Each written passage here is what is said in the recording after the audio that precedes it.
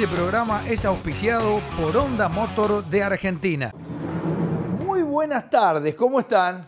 Bueno, acá estamos en esta tarde de domingo en la pantalla del Garage TV. Siempre digo que agradezco a toda la gente del Garage que contiene todas nuestras producciones, moto, café, morea en su salsa los domingos a la tarde, después se repite, pero ya ni sé cuándo se repite, pero se repite muchas veces. Y 0.30 del domingo, cuando termina Motocafé, CAM, Moto TV y toda la actividad del certamen argentino de motociclismo. Que bueno, ahí estuvimos en una nota con Hugo del Barco, nos contó novedades en cuanto a la política, de lo que será el deporte en la provincia de Santa Fe, en lo que hace el deporte motor, que nos interesa. Y hoy vamos a seguir con el motor Suzuki. Gracias porque recibí muchos mensajes de agradecimiento por el tema de la regulación de válvulas. Ya no lo hacemos más, pues ya lo expliqué, esta es la segunda vez, cómo se hace, cómo no se hace, para que nadie me diga, no, pero si le doy dos más, porque ya, después de todo lo que dije el otro día, llegaron mails a gustavo12, o a mi fanpage Gustavo Morea, llegaron preguntas diciendo, ¿y si le doy un poquito más porque me dijeron que anda mejor? Bueno, se ve que no entendieron lo que dije. La luz de válvula, la que dice el fabricante. Punto. Y el punto todo como dice la fábrica. No toque nada. Hágame caso. Que va a andar mejor. Salvo que sea un motor de carrera y usted sea preparador. Eso es otra cosa. Con respecto a lo de Tehuelche, que dije que necesitaba el eje con la medialuna y la palanca de arranque, con el resorte y un, un, este, un selector o al menos las cosas que van acá adentro, les agradezco porque bueno, están llegando un montón de propuestas y me viene bien y que muestre más de la caja y explique un poco más de la distribución. Mire, lo voy a hacer en este bloque y vamos a sacar la tapa de cilindro del Suzuki. Fíjense cómo quedaban los árboles de leva de este motorcito argentino, destruidos, y el balancín, este está rellenado varias veces, reparado y mal reparado. ¿Por qué? Porque no llegaba bien la lubricación a la parte de arriba del motor. Fíjense que este balancín inclusive eh, ha sufrido tanto que el buje ya se sale solo del balancín, que por supuesto toca hacer todo nuevo, ¿no? ¿Qué pasaba con esto? Bueno, a la tapa de cilindro del motor llegaba el aceite por este cañito que tiene acá, esto iba acá arriba, y había una cascada de engranajes. Un engranaje acá, otro acá, otro acá, otro acá. Regular que esto no hiciera ruido era difícil, porque había que tener todas esas alturas muy bien y los engranajes muy bien. Entonces zumbaban, hacían ruido, pero no se rompía. Pero ¿cómo llegaba el aceite ahí arriba? Bueno, usted me dirá, por el agujerito, pero ¿cómo llegaba el aceite de abajo? Los engranajes lo tiraban a una piletita que tenía esta tapa. ¿La ven la piletita? se llenaba de aceite y ese cañito que está acá, este que está acá, ahí, combinaba con esa piletita. Entonces, como el motor respiraba por la tapa de cilindro, o sea, el venteo del motor no estaba abajo, estaba en la tapa de cilindro, cada vez que bajaba y subía el pistón, creaba una corriente de gases que empujaba por este cañito el aceite adentro de la tapa de cilindro. Se ve, en algún caso, es difícil que la cámara lo tome, si toma ahí adentro, ahí, mira, Lea, por ahí, ahí se ve. No sé si ves un cañito ahí con unos agujeritos, ¿lo ves? Ahí adentro. Uh, esto ponelo, que es el editor, ponelo bien porque es el agujerito. Bueno, por esos agujeritos salía vapor de aceite y se empapaba de aceite la tapa de cilindro. Con que calentaba este motor, que para la época tenía buena potencia porque llegaba a 5 caballos y alguno un poquitito más, imagínense con los aceites de esa época y con ese poquitito aceite, que no se renovaba mucho, cómo quedaban las piezas de la distribución. Había que tener todo muy bien para que esto funcionara. ¿Cómo se lubricaba la biela? Acá tengo la biela, miren. Y por supuesto que está todo picado, un muñón, entonces se terminaba gastando. Era una cubeta de muy buena calidad clavada en esta biela con una pesca y cuando esto se movía, removía el aceite del fondo del cárter. ¿eh? Que el aceite estaba acá abajo, eh, lo vamos a sacar. Total, sale fácil porque no tiene los tornillos. Vamos a tratar de sacarlo el cilindrito también y le mostramos el cárter. Ahí está.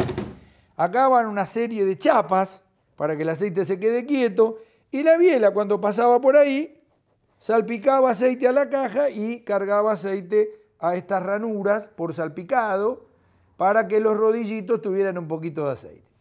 Esto, cuando estaba todo bien por salpicado, anda realmente, anda bien. Las ondas CAP, esa que yo reparé, que le muestro siempre, era así.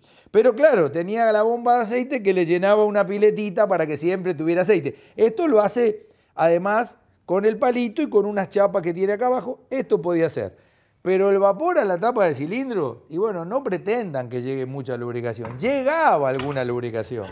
Y tenía de este lado el embrague. ¿Y cómo iba el aceite al embrague? El salpicado llenaba esta pileta que tiene acá, que tiene un agujerito ahí, que hacía que el aceite saliera acá, lo agarraban los engranajes, lo llevaban para arriba, llenaba la piletita y cuando bajaba el pistón salía ese vapor que lubricaba la tapa. Bueno, era así. Por eso yo quería contarle, porque imagínense que cada vez que muestro algo son 100, 200, 300 mail o preguntas y hay que contestarle a todo, porque para eso dije que iba a contestar. Además, la caja era con un triple, fíjese, un triple, voy a apoyar esto acá, Lea, un triple, la segunda, que para combinar, fíjese, el estriado, hay que ver en qué punto anda el estriado este, ahora no lo encuentro, no voy a perder mucho tiempo con esto, pero bueno, el estriado de la segunda es grave también, fíjense que no lo podemos encontrar, pero bueno, a ver si lo puedo poner en alguno de estos puntos seguramente va a correr. Y lo que sí quiero mostrarles son los tetones. Fíjense bien, porque cuando lo arman, el selector no es de gran precisión, y esto engrana acá, porque tiene la directa, y este cuando combina para arriba, que lo mueve para arriba, engrana en estos tetoncitos que tiene acá. O sea, ahí. ¿Tengo tiempo todavía? Ya me queda poco. O sea, hay que revisar que no estén muy redondeados las cavidades y los tetones, esto andaba bastante bien, porque te lo usaban para correr. Y este que combinaba acá. Y estos tres, por supuesto, que combinaban con el triple, todo sobre el eje. ¿eh? El triple, ¿qué pasa? Como la segunda es parte del cambio, hace la primera y la tercera, la segunda cuando se engrana en el medio, fíjense que están los engranajes todos podría decir redondeados, no en la punta. ¿Por qué? Porque este engranaje se movía de acá a acá y tenía que engranar con este. Perdón, al revés. Tenía que engranar con este. Entonces, al enfrentarse diente con diente hasta que encontraba el diente, bueno, había que hacer el cambio de espacio. No tiene la velocidad de cambio de una moto moderna. Tiene una velocidad de cambio, ¿se acuerdan? Como la Gilera 150, que tenía el cuádruple. Entonces el engranaje corría de un lado al otro y se engranaba. Bueno, algunos autos antiguos también tenían este tipo de caja. Lo que sí quiero significar es que cuando armen todo esto y lo restauren, primero van a tener que saber mucho, porque no es sencillo restaurar estas cosas. Se pueden modernizar con cosas que hay ahora, pero la velocidad de pasar un cambio de una Tehuelche no es la de un motor 110 de ahora por más chino que sea porque es otra caja con árbol de leva, con horquilla, totalmente diferente a este sistema. Entonces, podemos mejorarle un montón de cosas, hasta darle más potencia. Hoy podemos llegar a 6, 7 caballos y a 10 si queremos con el motorcito de la Tehuelche. Pero este cambio, para que si va muy ligero la caja, pase sin hacer ruido y sin engranar, bueno, eso no es posible porque el sistema no lo permite. Así que creo que con esto contesté a unos cuantos mails que llegaron respecto a esta restauración. Y sigo esperando, bueno, ver de poder reunirme con la pieza de la patada y el, y el selector, así vamos armando la mía, y yo le voy a mostrar todas las modificaciones que voy a hacer para modernizarla.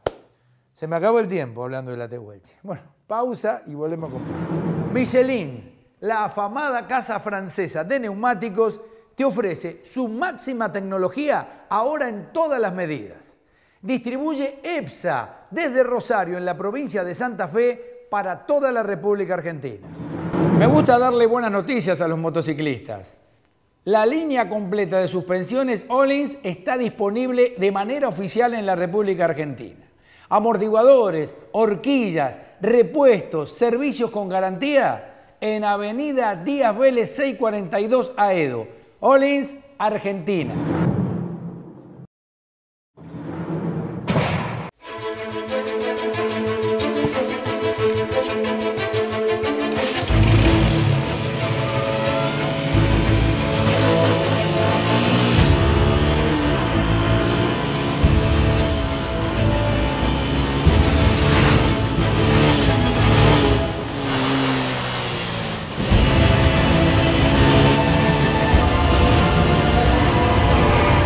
Suzuki.